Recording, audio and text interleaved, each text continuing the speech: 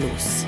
A Hektár Podcast külön kiadása mezőgazdasági termékekről, szolgáltatásokról, partnereink támogatásával. Hogyan meszezzünk költséghatékonyan a termelés eredményességét javítva?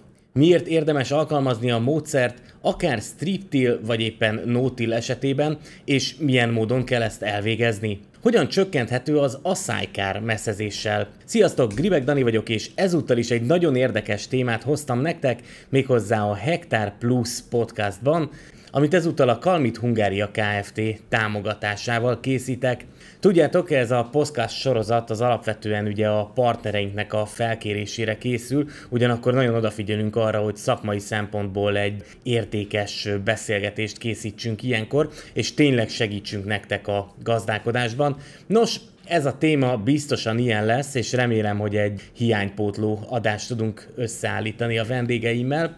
Mielőtt azonban őket bemutatnám, ne felejtsetek el feliratkozni YouTube csatornánkra, illetve bekapcsolni az értesítéseket Spotify-on, Deezeren, Apple és Google Podcaston, vagy bármely más felületen, akár podcast.hu-n vagy podpad.hu-n. Honlapunkra is várunk titeket, ráadásul a www.hektarpodcast.hu oldalon hírlevelünkre is feliratkozhattok de ami talán a legfontosabb, hogy kérlek benneteket a munkámat támogassátok egy-egy megosztással, hogy a hektár különböző adásai még több gazdálkodóhoz eljussanak.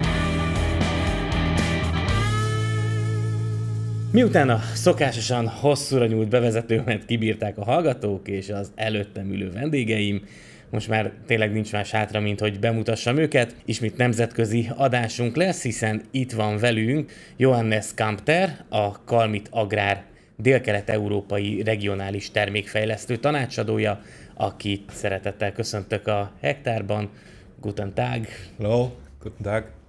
És itt ül velem a lábatlani Kalmit Hungária Kft. mezőgazdasági üzletágának, a Kalmit Agrár divíziónak a vezetője, Berez Sándor, és nagyban bólogat, hogy sikerült ezt így egyben kimondanom, felolvasnom. Köszöntelek téged. Köszöntök mindenkit, szia Dani. Különböző technológiákkal foglalkozó hektár podcastokat úgy szoktam kezdeni, hogy egy ilyen unalmas résszel, elmélettel. Ugye messzezésről beszélünk, és a messzezési technológiákról, megoldásokról, de akkor beszéljünk arról, hogy mi a messzezés, miért kell messzezni, vagy miért nem kell messzezni. És hát például én felírtam magamnak egy olyan kérdést, hogy ugye a talajjavítás kapcsán is ez a messzezés témakör gyakran előjön, de hát létezik maga a mésztrágyázás. Ez a kettő ugyanaz, vagy nem ugyanaz, tehát egy picit tényleg elméletbe mintha most egy iskolapadban ülnénk, aztán majd megnézzük, hogy no mit ajánlatok, strip mit ajánlatok, szántásos, forgatásos művelésben mit ajánlatok, és még nagyon sok mindenről beszélgetünk itt a kénnel kapcsolatban, tehát egy kis podcast ajánlót csináltam itt az első kérdésbe belefűzve, de akkor tényleg induljunk el onnan, hogy mi az a messzezés, általánosságban mit kell róla tudni. The reason for that is because all the acids are coming from the top onto the soil. For example, rainfall, so rainwater, or acidic fertilizers. A talaj pH-jának változását több tényező is okozhatja. Ilyen lehet az eső vagy a műtrágyák használata, ami miatt savak kerülhetnek a talaj felső rétegébe. Ez a folyamat először csak néhány milliméteren jelentkezik, de az idő múltával egyre mélyebbre, sok centiméterre is lehúzódhat. Az így savanyúvá váló talajokban mérgező fémek is feldúsulnak, például az alumínium, ami a leginkább kifejti a toxikus hatást. Az alumínium egyébként természetes alkotó része a talajrészecskéknek, ami agyagos talajokban, homoktalajokban előforduló nehéz fém. Az alumínium arányát viszont tudjuk változtatni a messzezéssel, így vissza lehet szorítani. Ami a másik probléma az alumíniummal, hogy képes lekötni hasznos makrotápelemeket, például a foszfort, aminek inkább a növény gyökér zónájában a hajszálgyökerekhez közel kellene elhelyezkednie. A forgatás nélküli talajhasználat esetén ez a folyamat ráadásul a felső néhány centiméterben korlátozódik. A minimum művelési technológia esetén is számolni kell azzal a kockázattal, hogy a megkötött foszfor mennyisége a felső néhány centiméterben erősen megemelkedik. Hosszú távon tehát foglalkozni kell azzal, hogy ennek a koncentrációját csökkentsük, és elérhetővé tegyük a gyökérzónában. hogy miért is kell a felső néhány centiméterből minél lejjebb irányítani a foszfort. Ha a növények a gyökérzónából felvesznek belőle valamennyit, annak jelentős része később a szármaradványokban szintén ott marad a felszín közelében, ahol ráadásul az alumínium is nagyobb mennyiségben van jelen. Ennek köszönhetően tehát a gyökérzónában folyamatosan foszforhiányunk lesz, miközben a felszín közelében többlet jelentkezik. A forgatás nélküli talajművelés esetén a messzezés egyik fontos szerepe, hogy a talaj felső rétegében maradó tápanyagokat mobilizálni tudjuk. Ha nem forgatjuk a talajt, ezek a tápanyagok könnyen összegyűlhetnek a sekélyebb részekben, vagyis a gyökérzóna felett. Ezért van nagy szerepe annak, hogy messzezéssel javítsuk a szerkezetet. The reason why for no-till and strip-till tillage a no-till és a strip-till esetében is tehát a messzezés kulcsfontosságú a sikeres növénytermesztéshez. El kell érnünk azt, hogy a tápanyagokat felszabadíthassuk, és a káros nehézfémek arányát csökkenthessük. Természetesen a savanyosodás, illetve a nehézfémek megjelenése, ezek üteme erősen függ attól, hogy magas pH-jú szikes talajokról, vagy savanyú talajokról, tehát 6,5 alatti pH-jú talajokról beszélünk.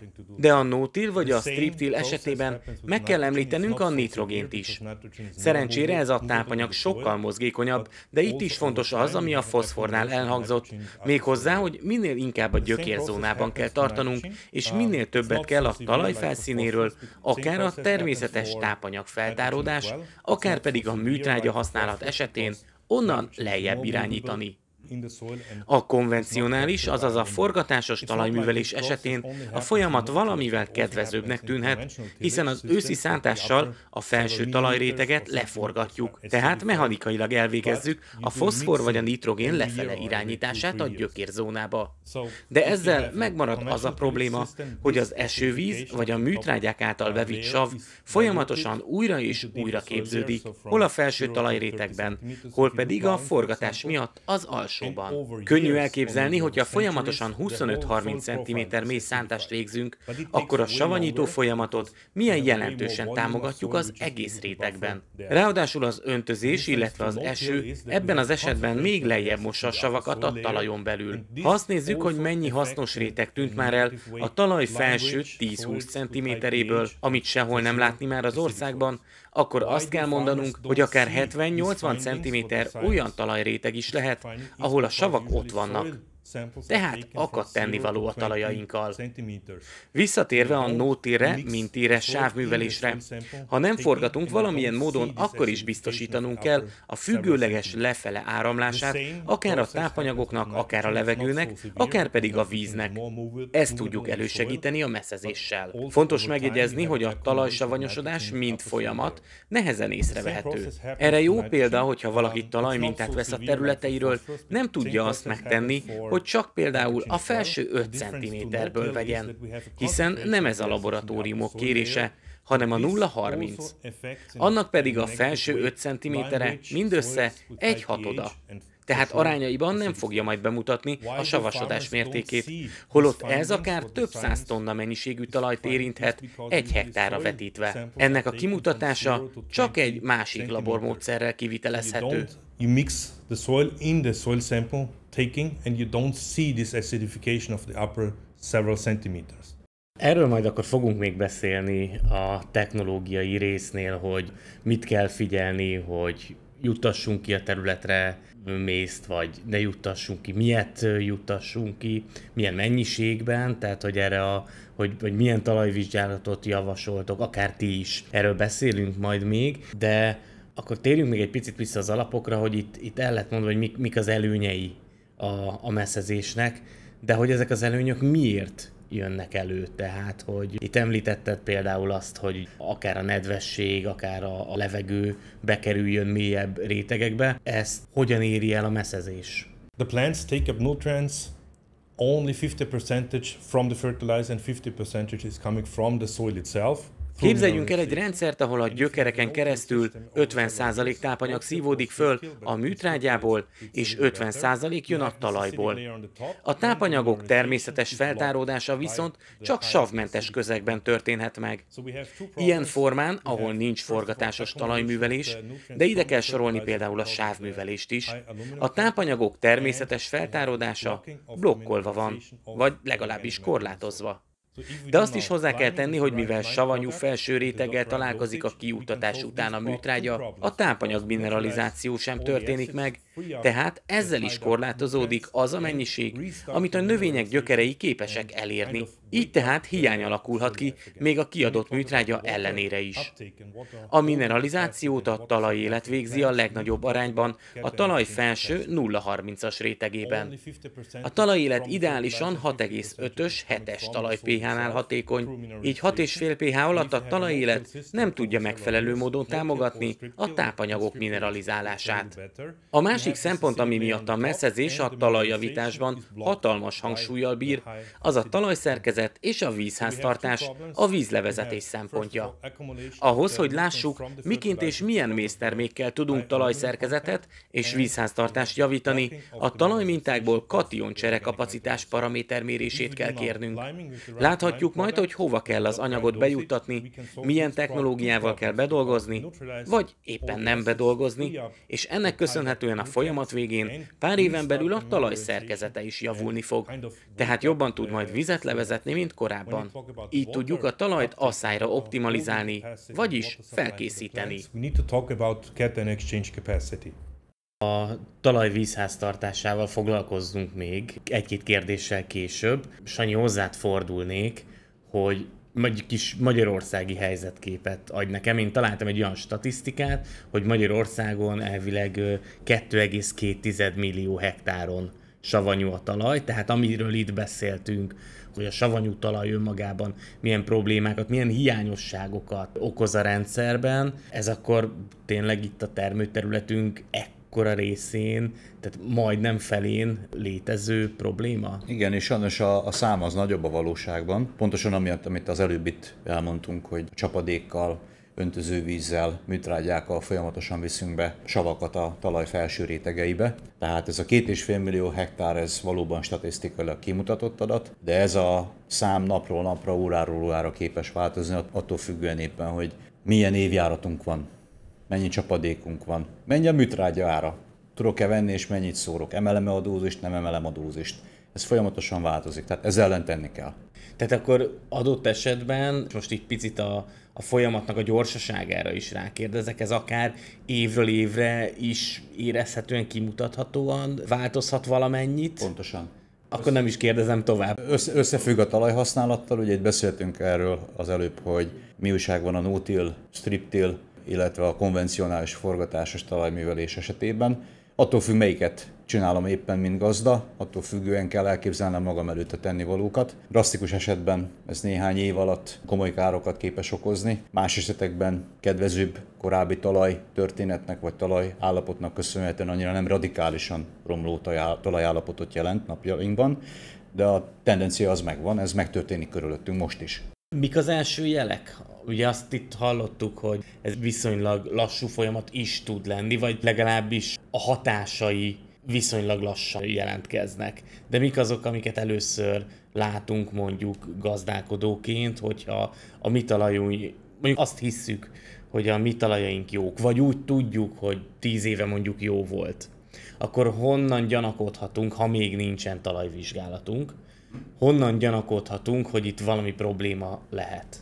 Elsősorban a, a növényállomány egy jó indikátor ilyen esetben, tehát aktív földhasználók tudják azt, hogy a növények a jó gazda szeme nélkül azért ritkán teljesítenek jól, tehát hogyha valaki járja a határt, látja, hogy évről évre hogyan változik mondjuk egy kukorica állomány egy ugyanazon a területen, akkor észre fogja venni a különbségeket akár 4-5 éven belül. Itt most nem akarok arról beszélni, hogy van-e asszály vagy nincs, hanem pusztán csak arról, amit a növény képes mutatni a gazda szemének. Hol van esetleg talajfolt a területen belül, hol van esetleg virágzási probléma, hiszen azért a tápanyagok elérhetősége befolyásolja azt, hogy egyes növényfajok hogyan reagálnak arra, hogy van-e tápanyag is, tudnak-e esetleg korábban virágozni, vagy egyáltalán virágoznak-e elegendő mértékben, ugyanabban az időben, amikor kellene.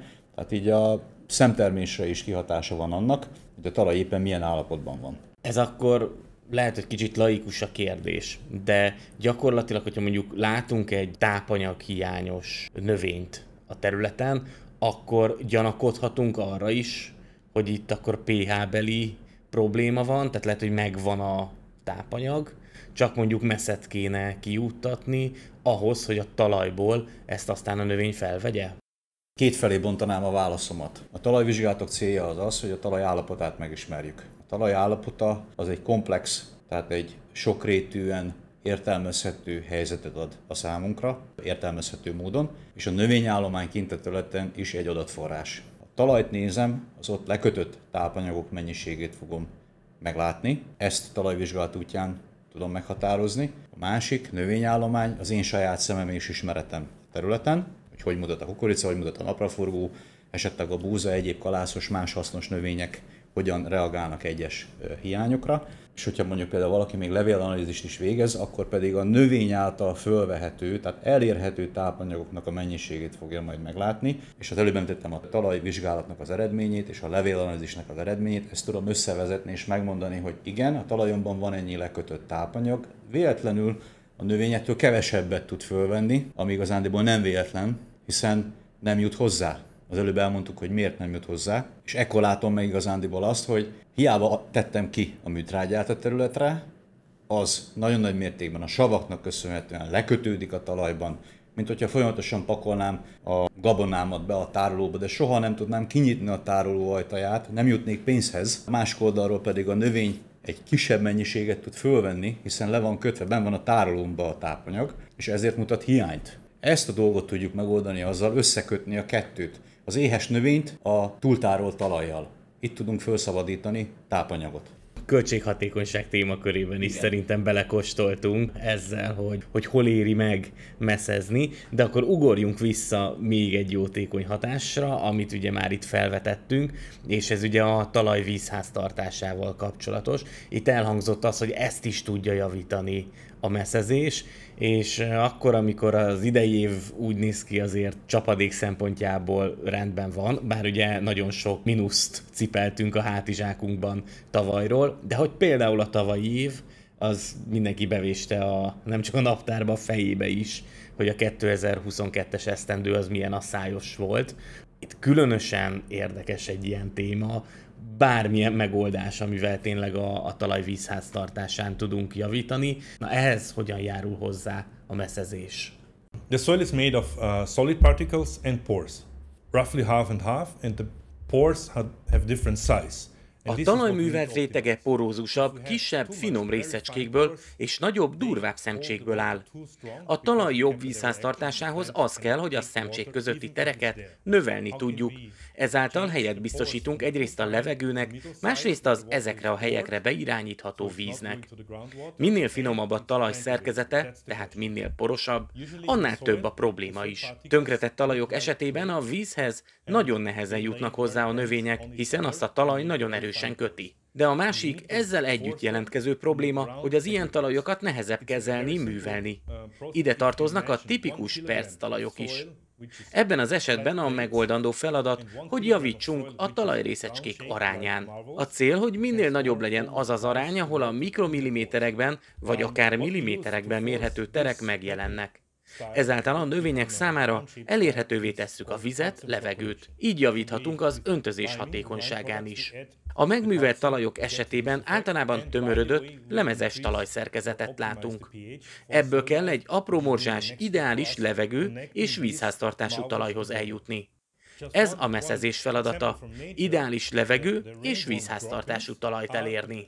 Ez a messzezés feladata, ha valaki elképzel maga elé egy rendesen összetömörödött talajból, például egy kilogramm mennyiséget, és ezt mondjuk egy liter térfogatú edénybe helyezi el, az fele vagy talán kevesebb helyet foglal el ahhoz a talajhoz képest, ami levegős, aminek optimális a szerkezete, tehát a térfogata is sokkal nagyobb.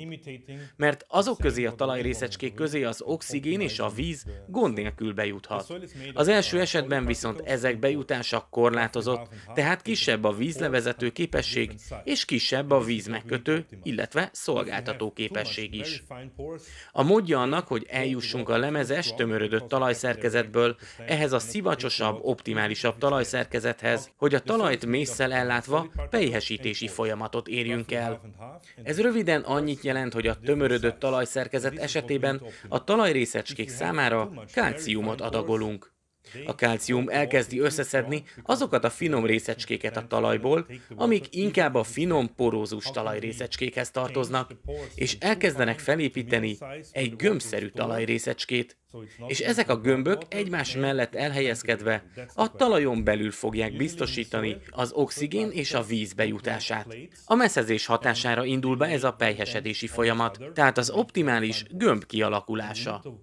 Emellett a pH-t is el tudjuk mozdítani a semleges tartomány irányába, tehát egyszerre tudunk az asszály ellen tenni, egyszerre tudunk a talajszerkezeten javítani, illetve segítjük a növények számára a lekötött tápanyagok felvételét is.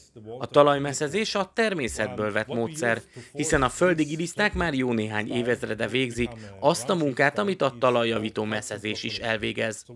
A földi giliszták úgynevezett cseppjei, amit a talaj felszínén hagynak, kvázi mint egy ürülék, az általuk adagolt kalciumkarbonátnak köszönhetően teljes mértékben megfelel az ideális talajszerkezetnek hiszen a pH helyre van állítva, a talajszerkezete rendbe van téve, és ez a talajszerkezet biztosítja például az ideális vízháztartását a talajnak. Így működik a messzezés, amit a földi giliszta végez. A talajjavító méztermékek használatával le tudjuk követni ezt a természetes talajjavító folyamatot, amit a földi giliszták is képesek elvégezni. We are imitating the same what the rainworm is doing and optimizing the soil. Örülök, hogy felvetettétek ezt a giliszta témát, mert hogy érkezik a Hektár Magágynak a Gilisztás podcastja, ahol szakértőkkel arról fogunk beszélni. Egyrészt, hogy milyen giliszták vannak, mert hogy a termelők nem ismerik őket, giliszta, giliszta, de egyébként meglepő módon van több giliszta fajunk is, de hát nyilván, mivel hektár mezőgazdasági podcastról beszélünk, majd a lényeg az lesz, hogy mit csinálnak a talajban, és hogy nekünk mit kell csinálni a talajjal, hogy ők jól érezzék magukat.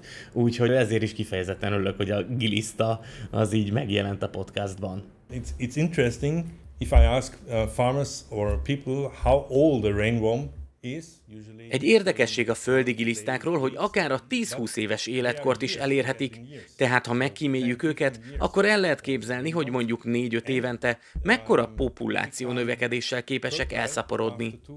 De minél inkább zavarjuk a gilisztákat, rontjuk az életfeltételeiket, akár a talaj művelésével is, annál inkább szorulnak vissza.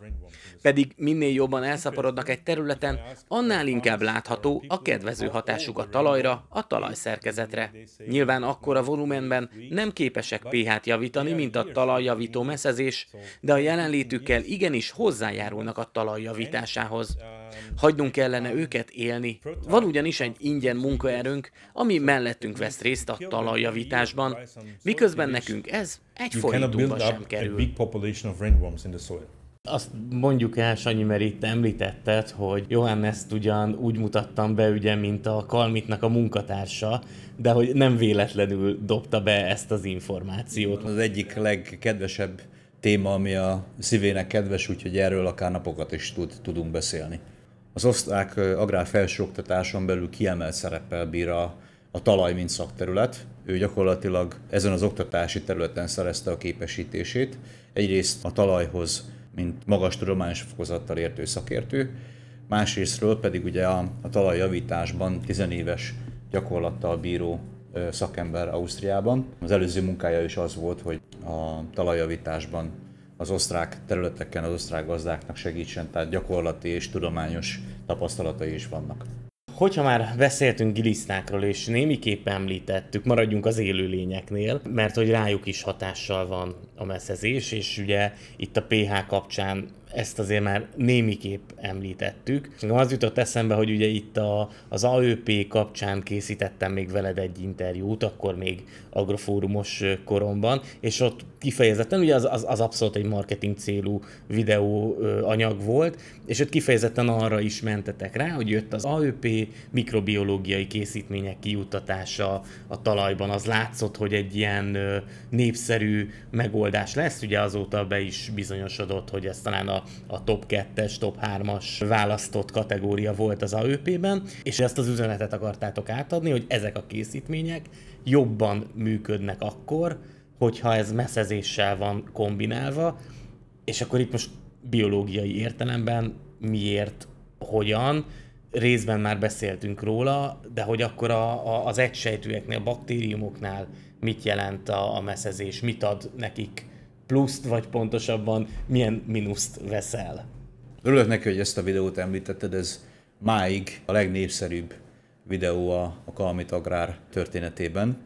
Ezért már, már megírta eljönni, ezt elmond, elmond podcastban. És biztatnék mindenkit, hogy a, a nyomásodra egy térjen vissza és nézze meg a, a YouTube-on ezt a videót. Summa summarum a, a, a, az AÖP említése ebben a videóban azért volt elsőrendű, mert a talajjavító messzezésnek direkt és indirekt hatásai vannak azoknál a földhasználóknál, akik ezeket a termékeket használják, feltételezve azt, hogy ők akarnak talajt javítani. Elmondom lépésről lépésre, mik ezek a hatások. Ezt én egyébként komplex talajjavító hatásmechanizmusnak szeretném bemutatni. Az első, ami a talaj pH-ra gyakorolt hatás és ennek következményei. Savanyú talajok esetében, hogyha sikerül emelnem a talaj pH-ját legalább 6,5-7-es pH értékre, akkor kiküszöbölök rengeteg gombabetegséget, amelyek folyamatosan képesek túlélni őszről tavaszra. Ezeknek a, a szaporodását tudom gátolni, ugyanis a gombák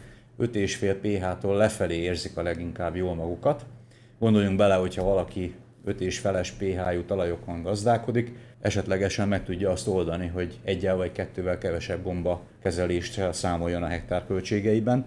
Ez csak egy momentum. Nyilván, ha nincs gombafertőzés, a növényegészség is javulni fog minden növényállomány esetében, ergo azok a növényfajok, amik így egészségesebb talajon kezdenek el fejlődni, sokkal inkább intenzívebben fognak reagálni azokra a növénykondicionálókra, amiket megkapnak a vegetációs időszakban, tehát már is nyerek hatékonyságot ezektől a készítményektől. A másik, amit ki kell emelni, hogyha a pH-t említem itt a fókuszban, az a talaj, talaj élet és a talaj élet feltételei.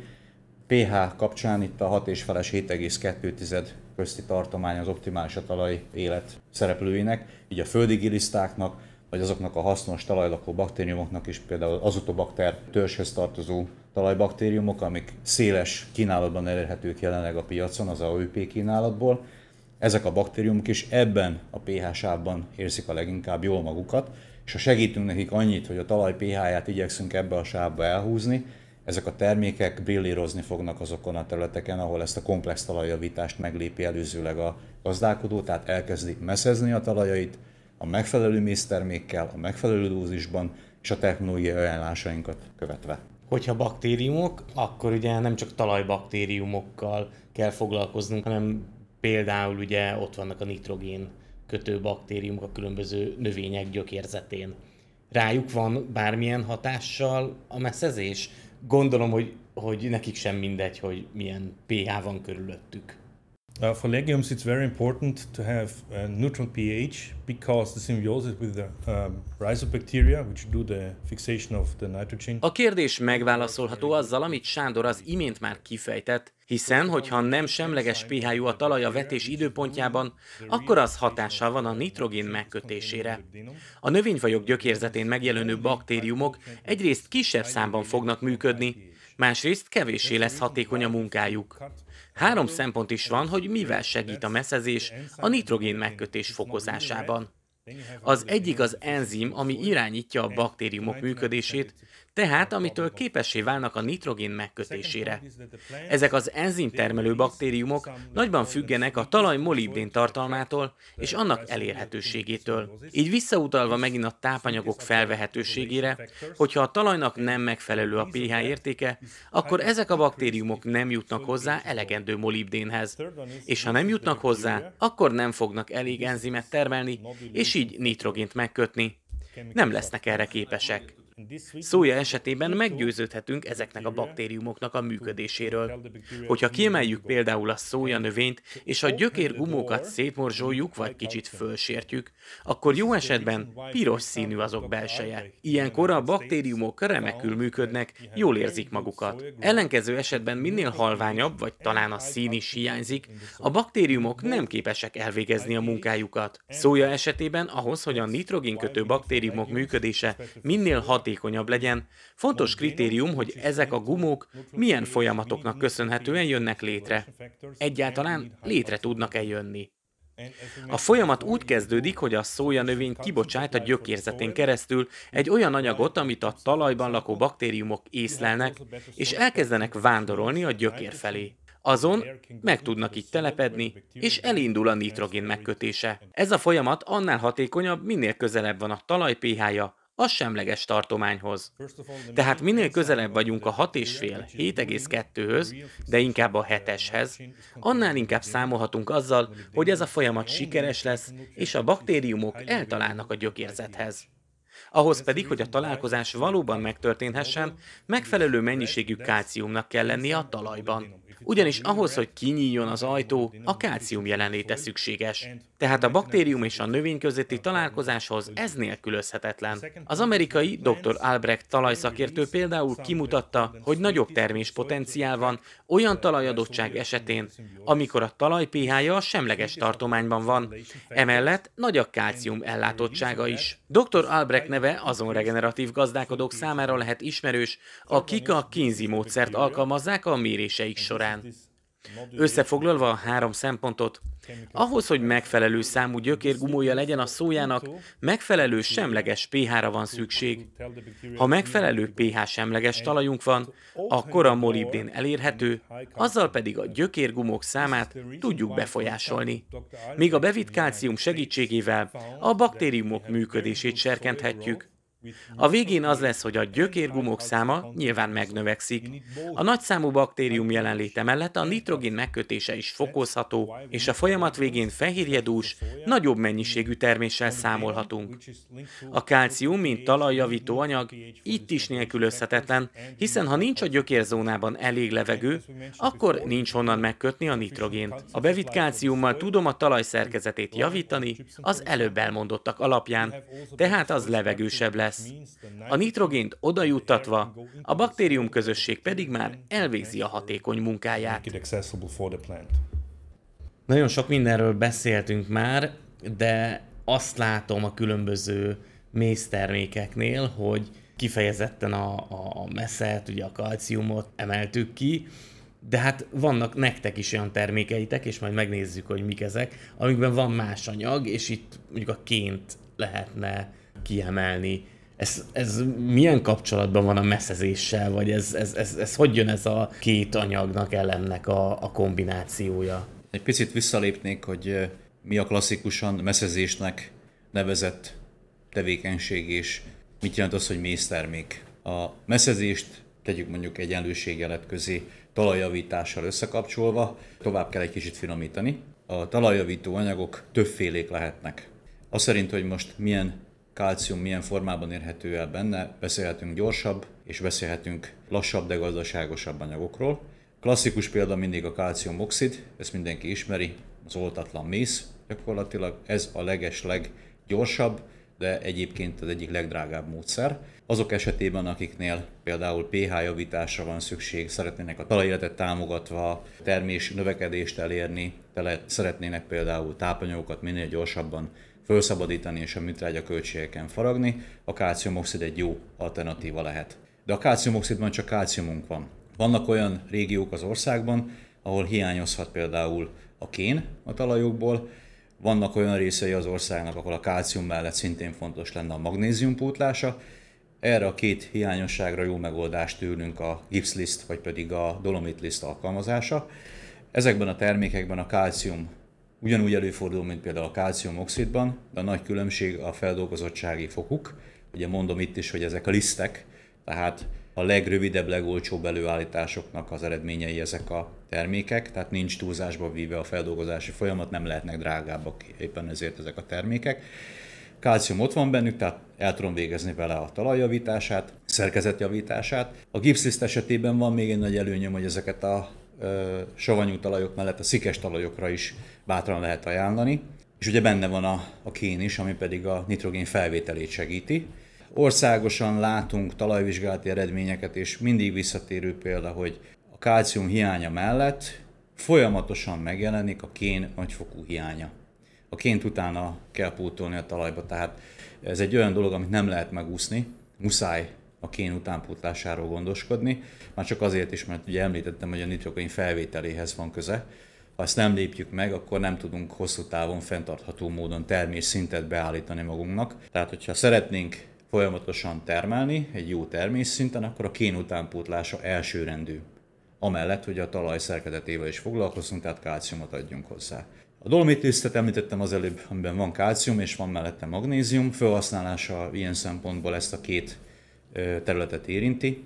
Tudok vele talajszerkezetet javítani a kálciumnak köszönhetően, tudok vele pH-t emelni, be tudom állítani a semleges tartományba, tudok vele talajéletet támogatni, tudok vele növénykondicionáló talajbaktériumot támogatni, de emellett megoldom még a magnézium bevitelét is.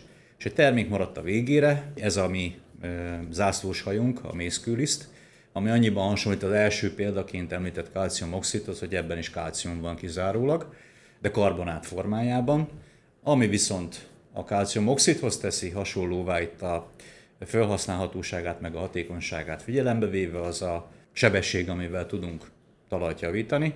Kálciumoxidról mindenki tudja, hogy nedvességgel érintkezve azonnal elkezd fölódódni, elkezdve az égetett mész frakció körüli talajt javítani, elvégzi a munkáját. A mészkőlisztben ugyanez a kálcium ott van, viszont finom lisztünk van, ez azt jelenti, hogy a finom liszt szemcséi ugyanazon a napon, amikor ki vannak juttatva, elkezdenek hozzátapadni a talaj részecskéihez, és az előbb már vázolt gömbösödési folyamat elindulhat a, a talaj szerkezetében. A mi általános méréseink 30 napos időtartamot mutatnak arra, hogy ez a folyamat látható módon beindulhasson, és mivel lisztekről van szó, egy egyenletes rétegben tudom kijuttatni a talaj tetejére a terméket, és így gyakorlatilag garantált az, hogy ez a folyamat beindulhasson a termő területen minden egyes négyzetcentiméterén. Hogyha mondjuk egy másfajta termékről beszélünk, ami nem tud ilyen módon folyamatos réteget képezni a talajon, akkor nyilván szigetszerű hatással fogunk szembesülni, de a karbonát teszi a dolgát mind a két esetben. Ha már itt a, a, a termékekről beszéltünk, akkor ezt a kérdést is vegyük egy picit előre, mert itt már ugye a, a, az időfaktort behoztad, hogy akkor költséghatékonyan hogyan lehet ezt csinálni. Tehát matekozzunk egy picit. Milyen ára van egy messzezésnek? Nyilván most bekérdeztem egy ilyet, és azt fogod mondani, hogy hát ez függ attól, hogy milyen talajt kell hova eljuttatni, milyen terméket választunk, de hogy, de hogy egy picit nézzük meg, hogy milyen költségekkel számolhatunk, hol lehet ezen hatékonyságban faragni, és mit hozhat egy, egy ilyen meszezés. Nagyon jó a kérdés, ugye a, az idei év is megmutatta, hogy a legfontosabb a hektár költség folyamatos figyelése, és, és csökkentése, mondjuk ki, mondjuk mert, ki, mert hosszú távon ez az alternatíva van mindenki előtt. Hogy mi mennyibe kerül, arról inkább arányok formájában tudok pontosabb képet adni. Mi készítettünk egy 5 éves vetésforgót. Az 5 éves vetésforgóban 5 növény szerepel. Az első egy repce, akit követ egy búza, búza után vetünk kukoricát, kukorica után vetünk napraforgót, és a végén szójával zárjuk ezt a vetésforgót. Mindenki tudja, hogy mi volt a 2021-es termés átlaga ezeknek a növényeknek, ezt a KSH oldaláról meg tudja nézni, ezekre fogok referálni, ezt ezért fontos kihangsúlyozni. Az, hogy a talajjavító messzezéssel milyen termés töbleteket érhetünk el, ahhoz két dolgot mondok. Ha valakinek olyan talaja van, aminek a pH-ja 6 és feles, illetve 7-es között van, tehát nincs olyan rossz pH helyzete. Itt durván egy 15%-os termésnövekedést érhetünk el, míg hogyha esetleg 5,5 vagy pedig 6-os a talaj pH-ja, ott megtörténhet az, hogy növényfajtól függően, de akár 30-50%-os termésnövekedést is elkönyvelhet, és hogyha mellé teszem azt, hogy ehhez mindössze minden második évben kell kijuttatnom talajjavító meszet, akkor azokat a dózisokat, amiket most egy és három tonna közé sorolok be, attól függ, hogy melyik termőterületről beszélünk, ezek lehetnek sokkal kevesebbek, lehetnek ebben a tartományban, akkor ha ketté veszem ezeket a dózisokat, akkor ez évente nekem belekerülhet durván egy 20 ezer forintba, vagy belekerülhet maximum 30 ezer forintba. Ez az input anyagköltség. De ezért kapok cserébe 10, minimum 10 százalék termés növekedést, vagy kapok 50 százalék termés növekedést, és ezt kettő év input anyag költségével érem el. Tehát nem mindegy, hogy most egy repciből váltok búzába, vagy mondjuk váltok napraforgóból szójába, hogy a szójám, vagy éppen a, a repcén mondjuk milyen termésnövekedés produkál. Ugye ezek most egy jó fizető növények. Ha valaki ezeket a számokat végigveszi magában, megnézi a talajvizsgálatokat, hogy jó, én hol tartok, milyen ph van, milyen terület nem van, mennyi dózissal kellene számolnom, akkor ezt mindenki el tudja magának végezni. Ezek a termésnövekedések komplex okokra vezethetők vissza. Beszéltünk a jó előbb arról, hogy a tápanyagok felszabadításával elérhetjük a műtrágya költségcsökkentését azzal, hogy a betárolt tápanyagokat fogjuk felhasználni, tehát itt már pluszon van. A talajszerkezet javításával segítünk a növény gyökérzónájának minél intenzívebbé alakulásában, tehát a felszabadított tápanyagokat sokkal dúsabb hajszálgyökerek fogják elérni. Azzal, hogy a kezdeti fejlődést támogattam, az összes fejlődési fázisban robosztusabb, erőteljesebb növényeim vannak, tehát homogénebb állományom lesz, megfelelő intenzív virágzási időszakom van, jobb lesz a termékenyülésem, jobb lesz a beltartalmam, beszéljünk akár szójáról is. Nem mindegy, hogy a végén milyen minőségű terményem van, és milyen mennyiségű terményem van. Világpiaci tendenciákból lehet látni azt, hogy labdába rúgni nyilván csak minőséggel lehet. A talajjavítás egy jó út ahhoz, hogy folyamatosan tudjak minőségi termés realizálására képes lenni, alacsonyabb hektárköltség mellett. Példámban ugye említettem, hogy minden második évben juttatok ki talajjavító meszet. Nem mindenki fogja ezt a vetéstervet követni, ez egyértelmű, de ha csak végigjátsza magában, hogy 5 éven belül mire mennyit költ, és ehhez mellé teszi mondjuk a talajjavító mésznek az árát, akkor megláthatja azt, hogy éppen ezért, ha ezt használja, mire nem fog majd költeni, honnan lesznek plusz bevételei indirekt módon, itt most csak a kevesebb műtrágya felhasználásról beszélek, akkor látható, hogy a befektetése mellett azonnal megtakarítása is realizálható. Tehát én itt elsősorban nem arról szeretnék beszélni, hogy mennyibe kerül az input anyag, hanem milyen direkt és indirekt pozitív hatásai vannak a talajjavításnak. És ezek közül csak egy, hogy termésnövekedést tudunk elérni, a hosszú távú pozitív tulajdonsága pedig az, hogy fenntartható módon tudunk folyamatosan termésbiztonságot garantálni a talajjavítással. Különböző inputanyag árak vannak különböző termékek mellett, ide talán valami hasonló gondolkodásra javasolt, mint amikor műtrágyát vásárol valaki, és a hatóanyagokat hasonlítja össze. Hát azt érdemes megnézni, hogy egységnyi hatóanyag mennyibe kerül egy adott terméken belül, ez az egyik fontos szempont, a másik fontos szempont pedig az, hogy én milyen gyorsan akarok talajt javítani, milyen lehetőségem van rá. Kell nekem a gyorsabb kalciumoxid, vagy mondjuk kisebb pH eltérésem van, optimális körülményeim vannak, majdnem, de valami pici hiányzik, akkor ide inkább a fenntartó meszezéshez választok egy olcsóbb anyagot.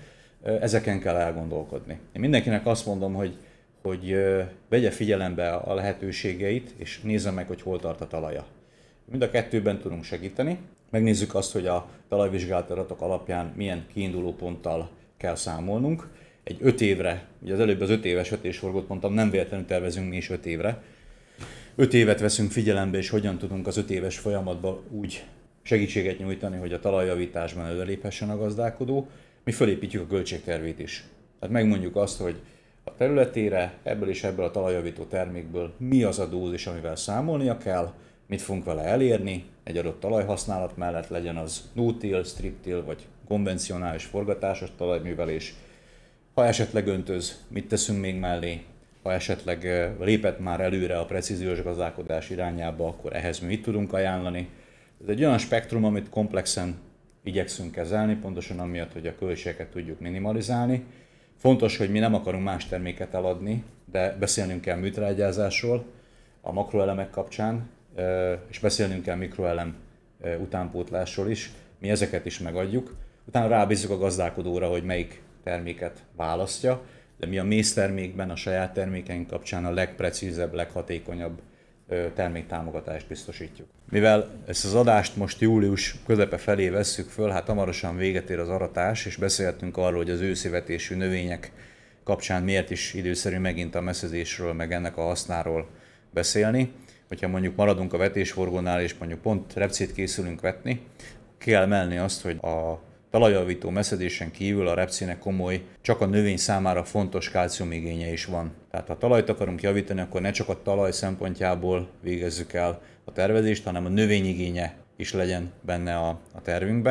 Ez azt jelenti, hogy megfelelő mennyiségű meszet kell kijuttatnunk például a repce elé. Összehasonlításban durván a buza és a repce arányát, hogyha használom, akkor háromszor több a repce mészigénye egy búzáihoz képest, ez kifejezve egy olyan 5-700 kg tud lenni, talajállapottól, meg a vetési körülményektől függően.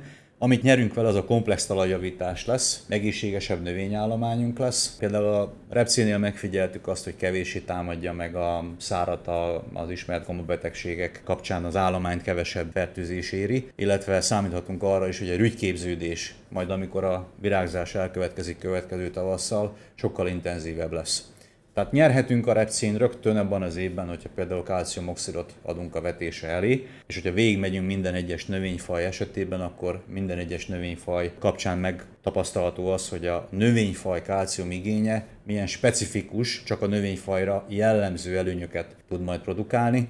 Ez mint egy kiegészítés a hektár költség minimalizálásához szükséges tudni. Megint csak visszatérek, hogy ne csak azért javítsunk talajt, mert mondjuk rossz a pH, vagy szeretnénk a talajszerkezeten javítani, hanem vegyük figyelembe a növényfajt is, és ezt a kettőt, mint egy komplex tervezés, használjuk és éljünk a lehetőségével. Visszaugrunk egy picit a, a technológiára, bár hát részben ugye itt a technológia alapját teszitek le a teljes komplex szaktanácsadással, amit ugye szolgáltatásban a, a termékeitek mellé tesztek. De hát akkor beszéljünk még a kiuttatásról, mert hogy mégis ez az a, ez az a pont, amin nagyon sok minden áll vagy bukik, bár nyilván a termékválasztás volt a, az első, sőt a, a talajvizsgálat, vagy a terület megismerése, nyilván onnan indulunk, termékválasztás, és utána a kijuttatás. Hogyan érdemes, vagy hogyan kell kijuttatni messzezőanyagot, Nézzük akkor egységenként, vagy technológiánként, hogy mit ajánlatok, mik a tapasztalatok.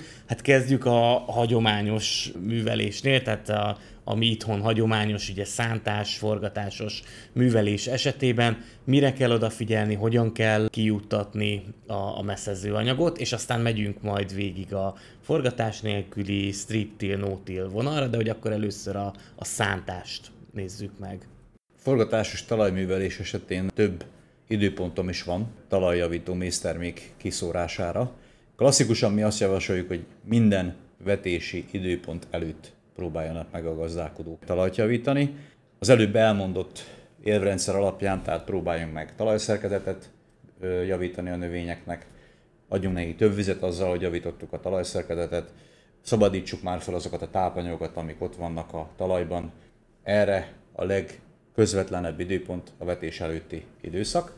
Égetett meszünk esetében vetőágy készítéséig bezárólag ki lehet juttatni az anyagot. Fontos ismérve az, hogy azért be kell dolgozni a, a, az égetett meszet, a darabos égetett meszet, mert különben nem lesz annyira hatékony a munkája. Tehát egy minimális pár centiméteres talajréteg fedje ezeket a égetett mézdarabokat, pontosan amiatt, hogy ott legyen már a kálcium, ahol vannak kerülnie kell. Amikor a, én elvégzem a vetést és megindul a csirázás, ez a kálciumoxidonon el fog tűnni, tehát már elvégezte a munkáját. A kálciumoxid termékünknek előnye az, hogy gyorsan oldódik vízben, tehát gyakorlatilag ha valaki oltott már messzet valami hasonló folyamatra számíthat, egy csepp víz is elég ahhoz, hogy a folyamat elinduljon a saját szeme láttára. Ennél a terméknél a kiszórás napján, hogyha van egy pici harmatunk, elindul a folyamat, épp ezért javasoljuk azt, hogy dolgozzák be pár centiméter mélyre a termelők, pontosan amiatt, hogy a gyökérzónában hasznosuljon minden kálcium. Másik termékkörünkről beszéltem a lisztekről.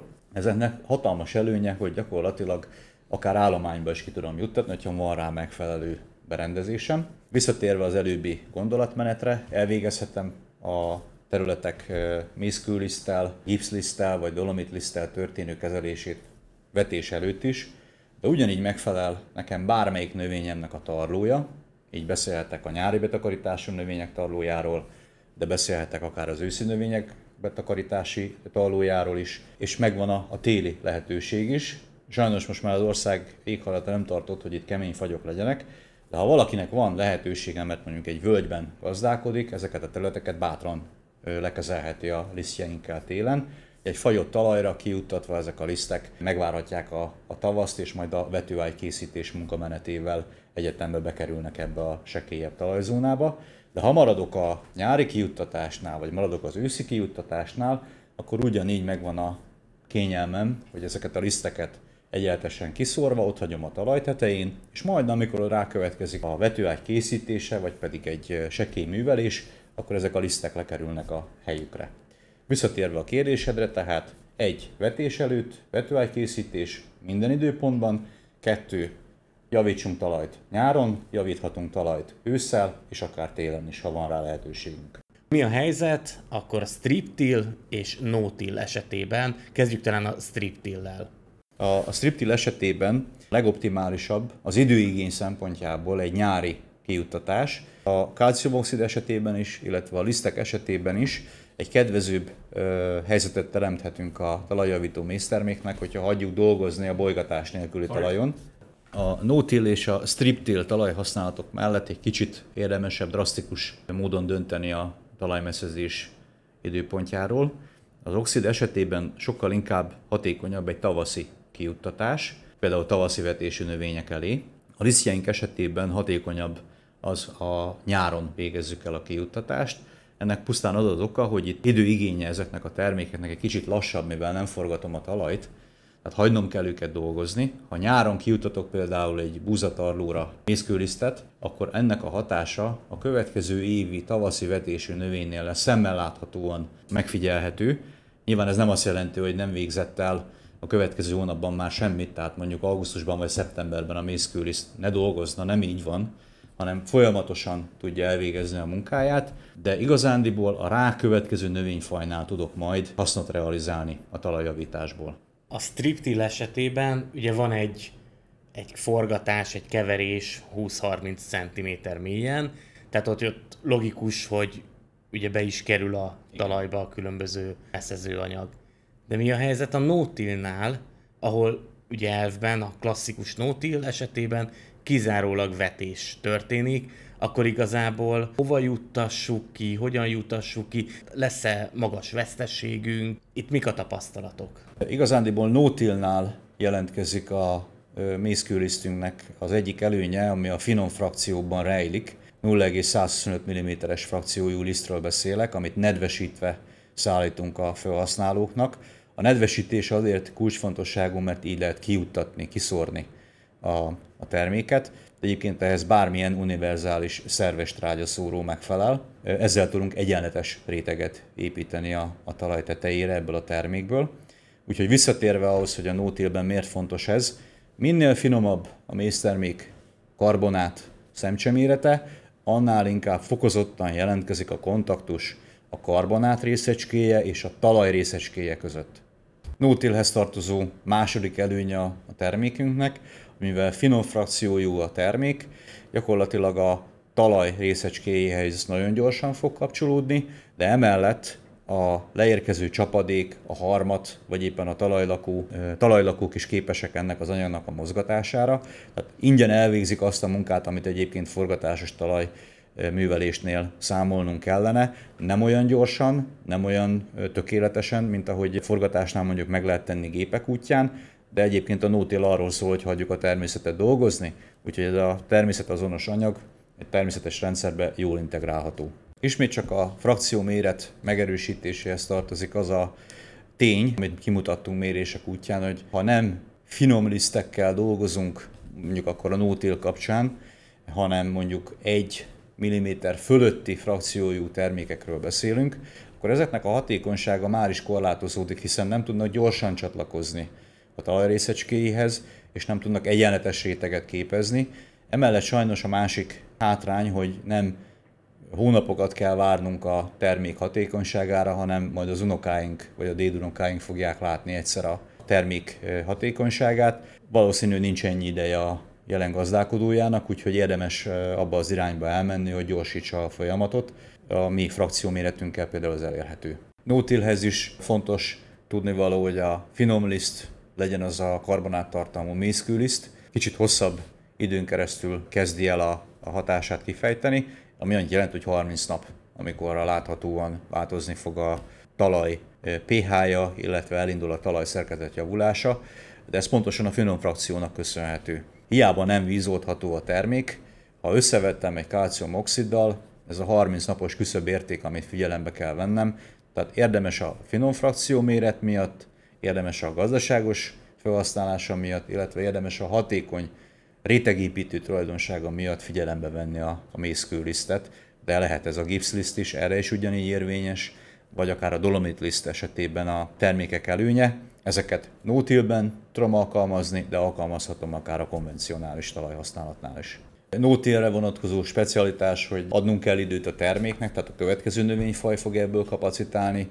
Ha forgatjuk a talajt, a kálciumoxid gyorsabban fog hatni, tehát gyakorlatilag tényleg ezért mehetünk egyre közelebb a következő növényfaj vetéséhez, azzal az időponttal, amikor az oxidot kiszórom a táblára. Talajjavítás, mint technológiai elem kell, hogy beépüljön a jövő gazdálkodásába. Ugye a beszélgetésünk elején említettük azt, hogy esővíz hatására a bevitt műtrágyáknak köszönhetően, de akár a talajélet, a szármaradványok által tartalmazott savak is folyamatosan hozzájárulnak a talaj pH-jának a csökkenéséhez, tehát a savanyolásához. Éppen ezért kell legalább minden második évben elvégeznünk egyrészt a talajvizsgálatot, ha indokolja, akkor nyilván a talajjavító mész kihelyezését. A jó előbb az öt éves vetésforgóban éppen ezért számít, számoltunk mi is a két évente történő kijuttatással. Ha ezeket be tudjuk építeni, folyamatosan nézzük a talajaink állapotát, tehát legalább a pH-ját mérjük, vagy van egy szűkített talajvizsgálatom minden második évről, akkor okosan tudom folyamatosan követni a talaj állapotának a változását, és mint ilyen beépített technológiai elemnek köszönhetően minden második évben elvégzett talajjavítás, 4-5 éves időintervallumot figyelembe véve szemmel látható pozitív javulásokat fog majd eredményezni a területeken. Még egy elem ahhoz, hogy a finom frakciójú lisztek miért is előnyösebb választás a talajjavítás kapcsán. A beszélgetésünk elejéhez tartozik megint, amit mondok, hogy a talaj felszínén folyamatos savanyodás mellett az egész talaj felszínt érinti ez a helyzet, ami ugye a talaj romlásához vezethet. Ez csak kitűnően fedő termékkel tudom folyamatosan csökkenteni, illetve menedzselni, kontrollálni. Olyan terméket választok, ami nem képes ennek a egyöntetű folyamatos rétennek a kiépítésére, emellett mondjuk még nem is forgatom a talajt, akkor elképzelhető, hogy a hatékonysága egy olyan terméknek kevesebb tud lenni, mert nem tudja ezt a kiváló minőségű réteget kiépíteni a talaj tetején, hogyha kiszórom. Kijuttatásról, még technikai oldalról a különböző termékeket mivel lehet kijuttatni, és ugye ez visszacsatol a költséghatékonyságra, mert hogy van egy gépállomány adott esetben a gazdaságban. A portfóliónknak az összeállításakor próbáltunk minden szegmensnek valamilyen alternatívát biztosítani. Mennék akkor termékről termékre. A kálciumoxid esetében darabos égetett mészről beszélek, big bagben vagy ömlesztve tudjuk biztosítani, ezt kivisszük a gazdálkodók telephelyére. A legegyszerűbb szóró megfelel a gép igényeinek. Általános gyakorlati visszajelzésekben látjuk, hogy mindenkinek ajánljuk, hogy vegye ki a tartályból a rácsot, ami esetleg a gépben van. Ha van egy modern szóró esetében applikáció, akkor nézze meg a beállításokat, ebben mi tudunk segíteni de általános érvényű dolog, hogy 24 méteres munkaszélességgel szinte minden szóró ezt ki tudja szórni. Nagyobb, okosabb gépek nyilván a munka, munkaszélességben, flexibilisebben följebb tudnak lépni. Ezután jönnek a lisztjeink, mészkőlisztet, a gipszlisztet és a dolomit lisztet is egyformán az úgynevezett univerzális szerves trágyaszórókkal, röpítőtárcsás szerves trágyaszórókkal tudjuk kijuttatni. Most gyártó megnevezése nélkül inkább általánosságban szeretnék fogalmazni, hogyha valakinek a gépkönyvébe az van leírva, hogy komposztszóró, hogy szerves trágyaszóró, vagy esetleg iszapszórásra is alkalmas a masina, ezeket a gépeket kell elképzelni a követelményeknek megfelelőnek, illetve hát van saját gépünk is ettől az évtől elérhető a, a Kalmit flottájából kapacitása arra, hogy kijuttassuk vele a terméket, tehát mészszóróval is kijuttatható. Mindenkinek azt ajánlom egyébként, hogy nézzen szél a, a környezetében, kisebb-nagyobb gazdaságoknál biztosan előfordulnak olyan gépek, amik még számításba jöhetnek. Itt egy tornádó kategóriájú gépet is, tornádó trágyaszóró gépet is meg kell említeni. Ebből van gyakorlati tapasztalatunk is, hogy minimális átalakítással azért elvégezhető a liszteknek a kijuttatása, tehát tornádóval is ki tudom juttatni a mészkőlisztet, a gipszlisztet, meg még a dolomit lisztet is. Nyilván mellé kell tenni a, a beállítási munkafolyamatot, ez egy tanulás, de megéri. Tehát ha 5 évre tervezek, akkor ha ilyen gépen van, el tudom végezni a, a talajjavítási munkákat. Ez részben már ugye logisztikai kérdés, amiben szintén ugye tudtok segíteni a, a termelőknek. Így van. Itt is megint, hogy ki mikor szeretne talajt javítani, meg mikor van lehetősége rá, próbálunk a lehető legközelebb, legrugalmasabb megoldással segíteni. Az oxid kapcsán a Big Bag-es kiszerelésünk az egy UV és vízálló Big Bag. Hát elég izmos a tömege a, a Big Bag-eknek, mert 1090 kg a, a teljes tömege a, a, az egy egységnyi Big Bag-nek. Ebből 22 teszünk fel egy kamionra, tehát nem egész 24 tonna egy kamiontétel. Viszont van ömlesztett kivitele is az oxidnak, ezeket főleg nagyobb gazdálkodók vásárolják tőlünk, akik ilyen just-in-time rendszerben kérik egyik nap visszük neki, leöntjük egy fedett betonalapos tárolóra az oxidot, másnap ő elkezdi kiszórni, és mondjuk egy hetes kampányban ő megoldja magának a, a kijuttatást. Ez egy kényelmes és a Big Bag költsége nélküli olcsóbb oxid termék. A, a Big Bag-es terméknek a tárolhatósága az most jelenleg 6-8 hónapot mutat. Fejlesztettünk a Big Bag szerkezetén, tehát egy jobb minőségű Big Bagünk van. Gyakorlatilag azt látjuk, hogy ha csak nem csap bele a villám a Big Bagbe, akkor ezt nagyon más nem tudja tönkretenni. Úgyhogy akár tárolhatok is betehetem a, a tárolóba a következő évi mennyiséget. Lisztek esetében klasszikusan tarlóra szoktunk szállítani, tehát itt is megint az van, hogy a gazdálkodó megtervezi, hogy ő melyik növényfaja elé szeretné a talajjavítás kapcsán a mészkőlisztet kijuttatni, visszük a tarlójára, vagy éppen a földterület mellé, elvégzik a kiszúrást, és gyakorlatilag a, a mészkőliszt így elfogy a területről, mármint a depójából. Ha pedig valaki szeretne még inkább takarékoskodni, említsük megint a hektárköltséget, ezeket a termékeket meg lehet venni előre, akár kettő évre is, 24 hónapot a lisztek a megfelelő tárolási körülményeket biztosítok nekik, akkor ezt ki tudják bírni. Tehát nincsen olyan fajta probléma a termékek kapcsán, ami kizárná azt, hogy ne tudjuk őket tárolni. Ha valaki erre kíváncsi, akkor keressen bennünket, és elmondjuk a technológiát mellé. Két olyan dolog jutott még eszembe itt a beszélgetés során. Az egyik, hogy bár sejtem a választ, mert hasonló lesz a lényege a rendszernek, vagy a, vagy a működésnek, de hát ugye itt végig műtrágyáról beszéltünk. Mi a helyzet, hogyha szerves trágyázunk egy területet? If you do manure and lime in a mixture and spread it Abban az esetben, ha például trágyát keverünk a talajjavító méztermékkel, ide elsősorban a mészkőlisztünk vagy a gipszlisztünk említhető, akkor a kevert szerves trágya kiuttatása a talajéletet még intenzívebbé teszi, tehát ezzel több legyet ütünk egy csapásra. Azzal, hogy a szerves trágyába kevert mészsel a talaj pH-ját minél inkább a hetes szintre emeljük, a talajéletet tudjuk támogatni. Ha szerves trágyát juttatunk ki, azzal a tápanyagok feltárodását is képesek vagyunk fokozni. Visszatérve a kérdésre, lehet-e keverni? Lehet keverni, sőt, ha keverjük, az nagyon jó. Seven, so neutral pH. Van is gyakorlati tapasztalatunk arról, hogy a szerves trágya és a méztermék eh, keverése még hol jelent kedvező technológiai lehetőséget.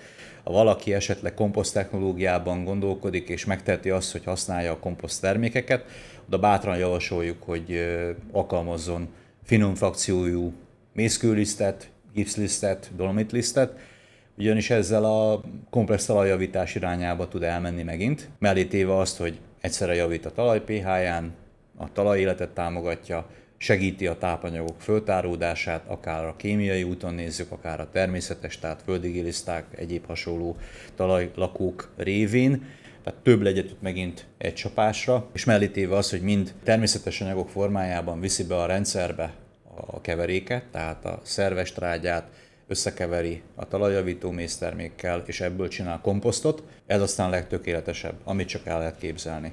És akkor ugye itt a nótil is felvetődik, ahol ha szerves trágyázás és nótil egybe kerül, akkor én mindig ugye egy korábbi Hektár podcastra szoktam hivatkozni, és konkrétan Mihailo Dragáncsukra, ugye az ukrán nótillerre, akinél először kérdeztem rá, hogy tudatosan erre a témára, és ő azt mondta, hogy ugye értelemszerűen a szerves trágyát igenis ki kell szórni, aztán majd egyszer lesz belőle valami, nyilván van veszteség, amit mondjuk, mit tudom, hogy a takarónövény terminálás előtt szórunk ki, akkor ugye lehet csökkenteni egy növény elfedéssel, de akkor mi a helyzet itt, amikor trágyát és messzet kombinálunk?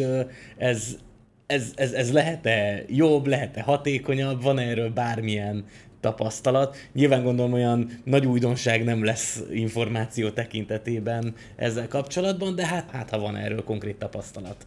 There, for these questions, it's really a little challenging, but uh,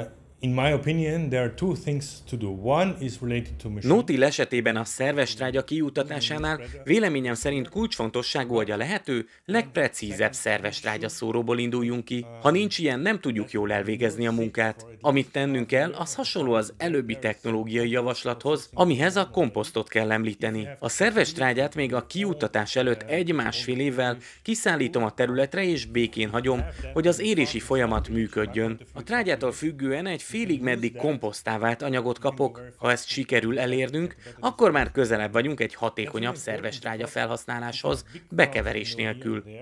A kiszórás után javaslom a gyomfésű alkalmazását, ezzel segítve azt, hogy az esetlegesen egyben maradt szerves trágya tömböket megfelelő módon szét tudja moszlatni a területen, hogy aztán azt a talajlakó élőlények elkezdjék feldolgozni. Minél inkább biztosított az egységes réteg szerves trágyából egy adott földterületen, annál inkább fokozódik a talajlakók munkája, hiszen könnyebben megtalálják a fogyasztandó táplálékot. A szerves trágya esetében háromféle nitrogénforrással kell számolnunk, Egyrészt van a szerves nitrogénforrásunk, majd az ammónium és a nitrát. Ha nótil gazdálkodást folytatok, akkor ugye nem dolgozom be a szerves trágyát, tehát számolnom kell a nitrogén ammóniává alakulásával. Így gyakorlatilag a levegőbe párolok ki a tápanyag, aminek nem ott lenne a helye. Szintén az optimális réteg előnyeihez tartozik, tehát a gyomfésű használata mellett szól, hogy ha egységesen mindenhol van a szerves trágyából, akkor időbeli nyerességhez jutunk,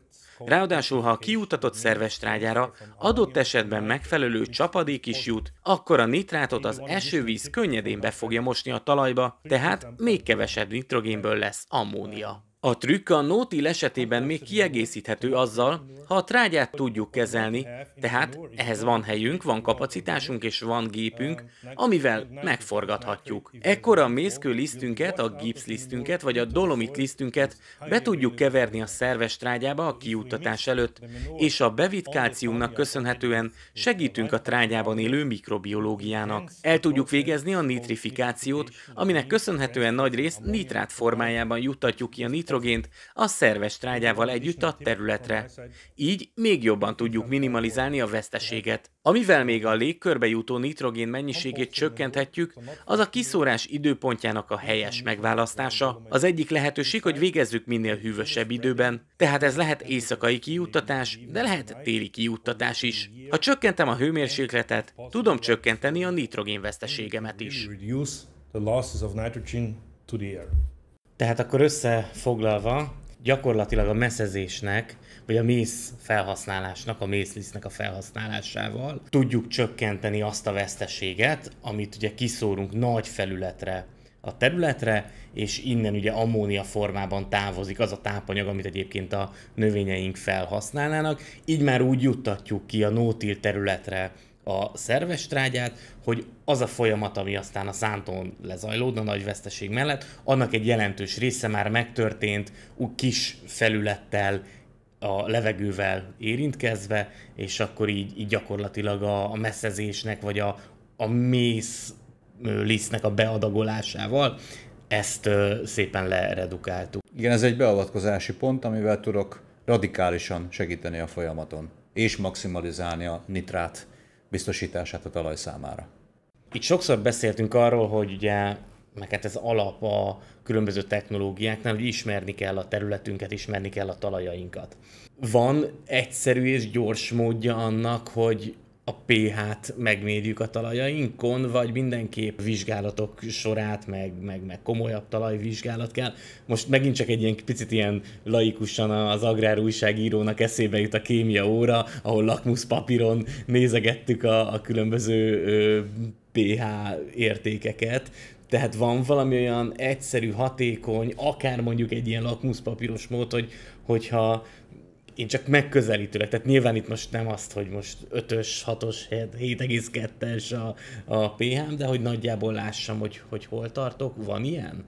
You can go to a craft shop and buy yourself a water pH meter for pool measurement. Electronic or lakmus paper, you can you get there. A legegyszerűbb módszer, hogyha valaki gyorsan és olcsón szeretne pH-t mérni, hogy a barkácsáruházakban mondjuk a nyári medence akció közepette vásárol egy gyerek medencét, pH mérőeszközzel. Ezt ki kell egészíteni két liter desztillált vízzel. Ezeket hazavisszük, és a konyhából a feleségünk fűszeres polcáról kölcsön vesszük a konyhasót. Egy liter desztillált vízhez adunk egy teáskanálnyit belőle. Utána ezt az egy liter folyadékot egy egy decis pohárba öntjük. Ennek az egy decinek a kétszeresét véve talajból az oldatot ráöntjük a talajra, és ebbe helyezzük bele azt az akciós pH mérőt. Ez arra elegendő, hogy lássuk, savas-e a talajunk. Arra jó, hogy legyen fogalmunk arról, van-e sürgős tennivalunk, vagy nincsen. Ennél olcsóban nem lehet információhoz jutni.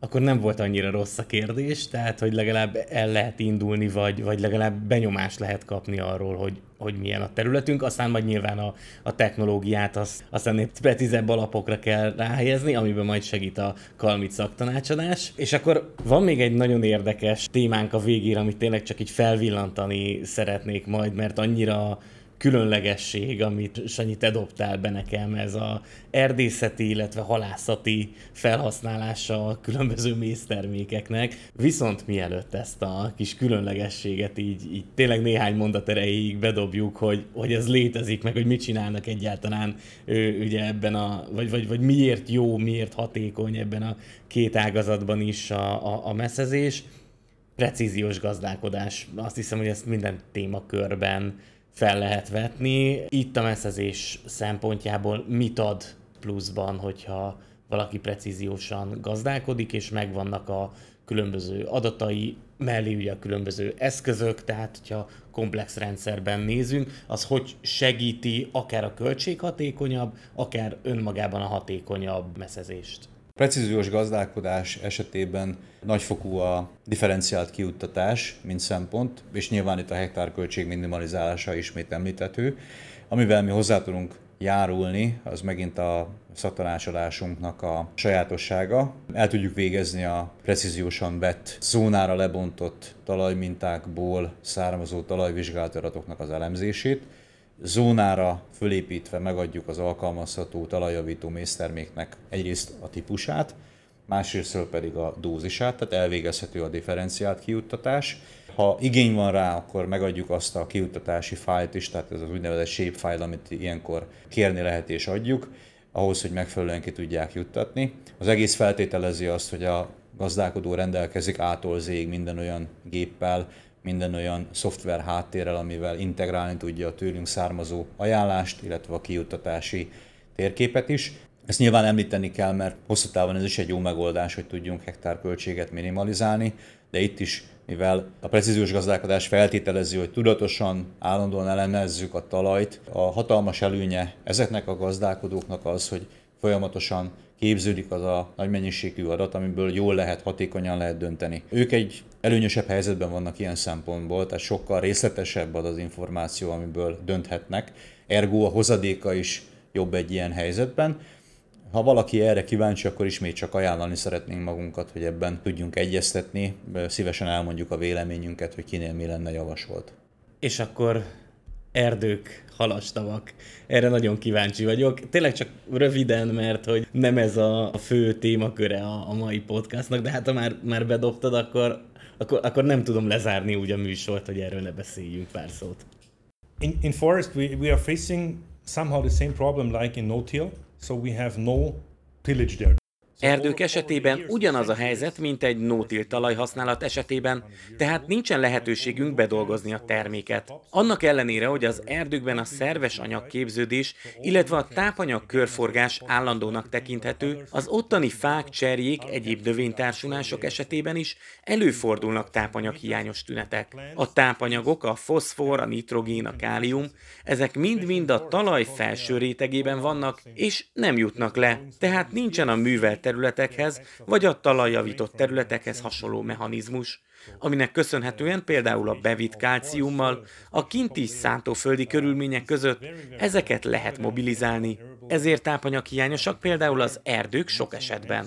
Intenzívebben szennyező ipari időszakban, így a 70-es, 80-as években gyakorta voltak savas esők, és ezek a savas esők nagyobb károkat okoztak az erdők esetében, hiszen itt nem történt meg a talaj forgatása. Ezek az erdők tehát jobban kivannak téve a savanyosodás problémájának. Németországban az előbb említett előzményeknek köszönhetően felismerték, hogy az erdőknek a meszezése hasznos és hatékony, és az erdőgazdálkodók, főleg a fakitermeléssel foglalkozó vállalkozók folyamatosan messzezni kezdték az erdeiket. Ezzel tudták mozgósítani, felszabadítani a tápanyagokat.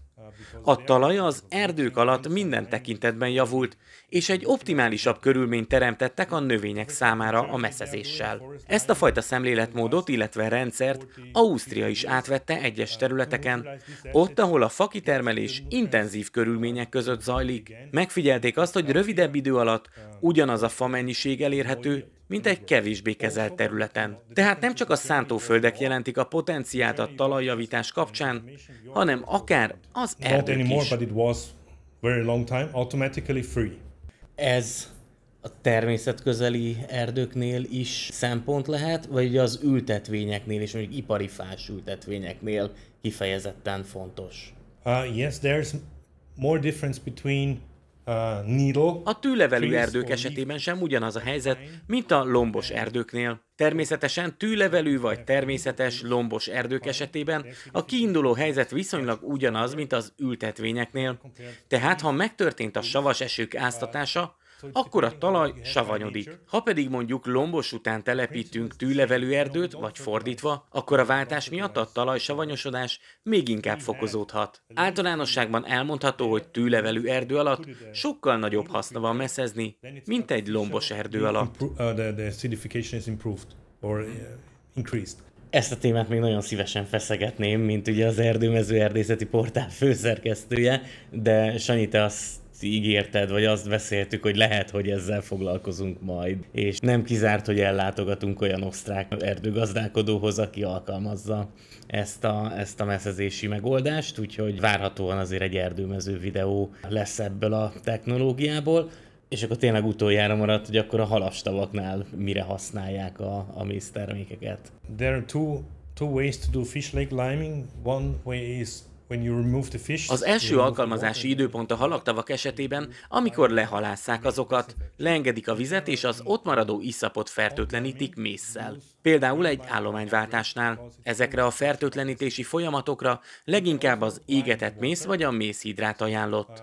Amikor a halak és víz van a tóban, ott az állomány egészségvédelme érdekében is alkalmazhatunk meszezést. Ilyenkor szintén égetett mész vagy mészhidrát alkalmazható. Ehhez ugyan technikai feltételre is szükség van, kell hozzá egy speciális csónak, amivel beszállítható a méztermék a tóra, illetve azon kell lenni egy propelleres, eloszlató, kiegészítő berendezésnek, amivel bekeverhető az égetett mész vagy a mészhidrát. Ezzel számos kártevő ellen lehet védekezni, emellett pedig meg kell említeni a talajjavításánál már felvetett pejhesedést is, aminek köszönhetően oxigént tudunk bejutatni a tóvizébe. Tehát nem kell folyamatosan mesterségesen gondolkodnunk az oxigénellátásról egy meleg időszakban, azt ugyanis messzezés útján is támogathatjuk.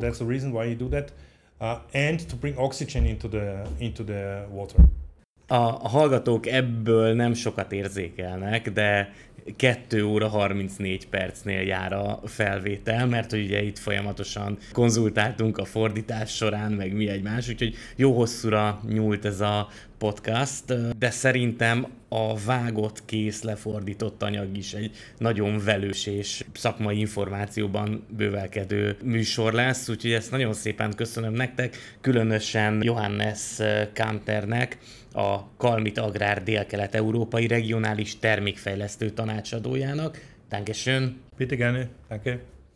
És hát nem utolsó sorban neked is, Sanyi, aki tényleg ez a műsorból nem jön át, de nagyon sokat fordítottál, sőt itt voltak olyan kifejezések, meg olyan technológiai elemek, amiket rajzolgattatok itt a papírra, és úgy próbáltad átadni nekem, hogy aztán jól le tudjuk fordítani, úgyhogy neked köszönöm mind a szakmai információkat, mind a, a közreműködést itt a beszélgetésben. Nagyon örülök neki, hogy ez a podcast most összejött, Dani. A munkát bele kellett tenni, mert egy értékes dolgot akartunk létrehozni, és hát remélem, hogy a vágott anyag ugyanolyan értékes lesz, mint az az idő, amit együtt töltöttünk, és hozzájárultunk ahhoz, hogy a gazdálkodók érdekének szolgáljunk.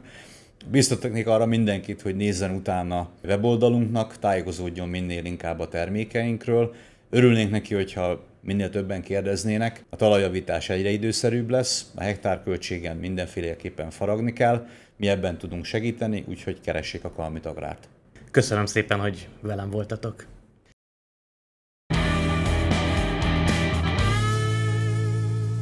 A Hektár Plus podcastot hallottátok a Kalmit Hungária közreműködésével. Hamarosan újabb témákkal jelentkezem, például a szintén egyszer már felvetett agrárerdészeti rendszerek témaköre is illetve a hektár nagyágyúkból is hamarosan most már érkezik az újabb adás, azt úgy látom a statisztikák alapján, hogy kifejezetten szerettétek.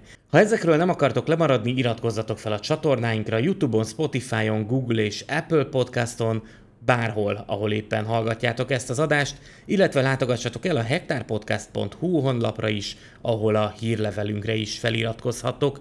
Ha tetszett a műsor, osszátok meg ismerőseitekkel, ajánljátok gazdatársaitok figyelmébe ezt és egyébként a hektár bármelyik másik riportját, beszélgetését.